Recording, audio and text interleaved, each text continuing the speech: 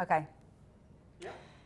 First impressions really count. I know they shouldn't do, but pretty much we make up our mind about people within three to five seconds of meeting them, maybe even before they've actually opened their mouth and said something.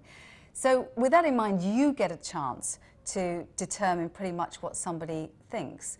You need to dress in a way that gives you more confidence. So if, if, you know, if you like wearing three or four inch heels and that makes you feel a bit more confident, it makes you stand up and walk a bit better and, and have that confidence, then, then find an outfit and find a way that you can, you can wear those.